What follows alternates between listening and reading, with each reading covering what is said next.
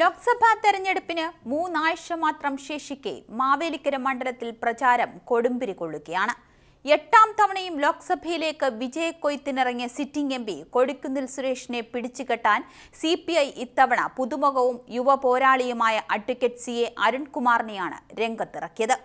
B J പിക്കും ഈഴവ സമുദായത്തിനും നിർണായക സ്വാധീനമുള്ള മണ്ഡലത്തിൽ ആധിപത്യം ഉറപ്പിക്കാൻ എൻ ഡി എ സ്ഥാനാർത്ഥിയായ ബി ഡി ജെസിലെ ബൈജു കലാശാലയും കച്ചമുറുക്കിയതോടെ ഇത്തവണ മത്സരം കടുക്കുമെന്ന് തീർച്ച. പ്രീപോൾ സർവേകളിൽ പലതിലും ഇടതുമുന്നണിക്ക് വിജയവും മുന്നേറ്റ സാധ്യതയും പ്രവചിച്ചിരിക്കെ കൊണ്ടുപിടിച്ചുള്ള പ്രവർത്തനത്തിലൂടെ ജനവിധി തങ്ങൾക്ക് അനുകൂലമാക്കാനുള്ള അക്ഷീണ യജ്ഞത്തിലാണ് മുന്നണികൾ. ആലപ്പുഴ ജില്ലയിലെ കുട്ടനാട് മാവേലിക്കര ചെങ്ങന്നൂർ കോട്ടയം ജില്ലയിലെ ചെങ്ങനാശ്ശേരി കൊല്ലം ജില്ലയിലെ കുന്നത്തൂർ കൊട്ടാരക്കര പത്തനാപുരം നിയമസഭാ മണ്ഡലങ്ങളും ഉൾപ്പെട്ടതാണ് മാവേലിക്കര ലോക്സഭാ മണ്ഡലം. ഭൂമിശാസ്ത്രം പോലെ തന്നെ വൈവിധ്യം നിറഞ്ഞതാണ് മണ്ഡലത്തിന്റെ രാഷ്ട്രീയ സ്വഭാവവും. നിയമസഭാ തെരഞ്ഞെടുപ്പിലും ലോക്സഭാ തെരഞ്ഞെടുപ്പിലും വ്യത്യസ്ത രാഷ്ട്രീയത്തെ പിന്തുണയ്ക്കുന്ന മണ്ഡലങ്ങളിൽ ഒന്നാണ് മാവേലിക്കര.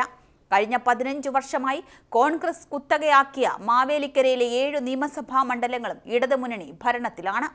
മൂന്ന് സംസ്ഥാന മന്ത്രിമാരും മണ്ഡലത്തെ പ്രതിനിധീകരിക്കുന്നുണ്ട്. എൻ എസ് എസ് ആസ്ഥാനമായ ചങ്ങനാശ്ശേരിയും കാത്തോലിക്ക സഭയുടെ രൂപതകളും വിവിധ ക്രൈസ്തവ സഭകളുടെ ഭദ്രാസനകളും വിശ്വകർമ്മ സഭയുടെ ആസ്ഥാനവും ഉൾപ്പെടുന്ന മാവേലിക്കരയുടെ ജനവിധിയിൽ അതുകൊണ്ട് തന്നെ സമുദായ സംഘടനകളുടെ ശക്തിയും സ്വാധീനവും ചെറുതല്ല. രണ്ടായിരത്തി ഒൻപത് മുതൽ രണ്ടായിരത്തി പത്തൊൻപത് വരെ തുടർച്ചയായി മൂന്ന് തവണ കൊടിക്കുന്നിൽ സുരേഷ് ലോക്സഭയിൽ മാവേലിക്കരെ പ്രതിനിധീകരിച്ചെങ്കിലും ഇടതിനോട് അയിത്തമുള്ളതായി കാണാനാകില്ല.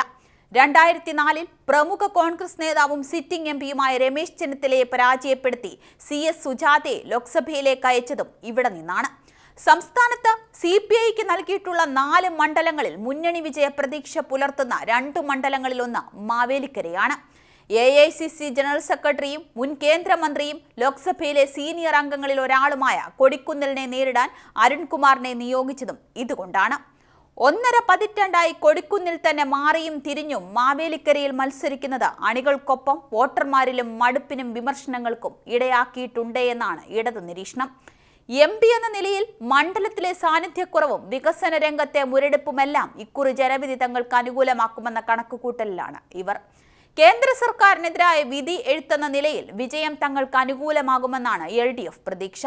അതേസമയം കർഷക ആത്മഹത്യ ഉൾപ്പെടെയുള്ള വിഷയങ്ങൾ കുട്ടനാട് ഉൾപ്പെടുന്ന മാവേലിക്കരയിൽ ഇടതുമുന്നണിക്ക് കനത്ത തിരിച്ചടിയായേക്കുമെന്നാണ് കണക്ക് കൂട്ടുന്നവരുമുണ്ട്. തെങ്ങ് റബ്ബർ കുരുമുളക് ഇഞ്ചി തുടങ്ങിയ വിളകളുടെ വിലത്തകർച്ചയും അഴിമതി ആരോപണങ്ങളും സാമ്പത്തിക പരാധീനതയും ഇടതുമുന്നണിയുടെ വിജയപ്രതീക്ഷയ്ക്ക് കരുനിഴൽ വീഴ്ത്തുന്നുണ്ട്. പല വമ്പൻ നേതാക്കളെയും യുവനേതാക്കൾ അടിതെറ്റിച്ച ചരിത്രമുള്ള മണ്ഡലം കൂടിയാണ് മാവേലിക്കര. കോൺഗ്രസിന്റെ കരുത്തുറ്റ നേതാവും സിറ്റിംഗ് എം പിയുമായിരുന്ന രമേശ് ചെന്നിത്തലയ്ക്ക് കാലിടറിയതാണ്. ഏറെക്കുറെ പുതുമുഖമായിരുന്ന സി എസ് സുജാതയ്ക്ക് മുന്നിൽ ആണെന്നത് ശ്രദ്ധേയം. ഈ ചരിത്രം ആവർത്തിക്കുമെന്നാണ് ഇടതുമുന്നണിയുടെ ഉറച്ച വിശ്വാസം. സിറ്റിംഗ് എം പി മുതിർന്ന കോൺഗ്രസ് നേതാവ് തുടങ്ങിയ നിലകളിൽ മണ്ഡലത്തിന്റെ മുക്കും മൂലയും വരെ അറിയാവുന്ന കൊടിക്കുന്നലിന് വോട്ടർമാരായുള്ള പരിചയവും അടുപ്പവും ഇക്കുറിയും വിജയപ്രതീക്ഷയ്ക്ക് വക നൽകുന്നുണ്ട്.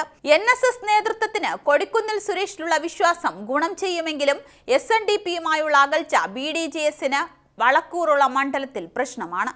രാഷ്ട്രീയ സാമൂഹിക സംഭവ വികാസങ്ങൾ വോട്ടിനെ സ്വാധീനിക്കാറുമുണ്ട്. കാർഷിക മേഖലയിലെ പ്രശ്നങ്ങളാണ് വലിയ പ്രതിസന്ധി. അടിസ്ഥാന സൗകര്യങ്ങളുടെ അപര്യാപ്തത മണ്ഡലത്തിൽ ആവശ്യത്തിന് കേന്ദ്ര പദ്ധതികളില്ലെന്ന പോരായ്മ ഇവയൊക്കെ തെരഞ്ഞെടുപ്പിൽ നിർണായക ഘടകങ്ങളുമാണ്.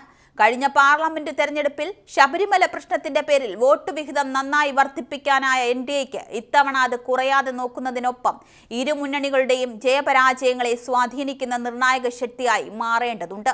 അതേസമയം ബി ജെ പിക്ക് നല്ല വോട്ട് ബാങ്കുള്ള മണ്ഡലം ബി ഡി ജെ എസിന് കൈമാറിയതിൽ വിയോജിപ്പുള്ള ബി ജെ പി പ്രവർത്തകരുമുണ്ട്. ഇതൊക്കെ ഏതൊക്കെ നിലയിൽ സ്വാധീനിക്കുമെന്നത് നിർണായകവുമാണ്.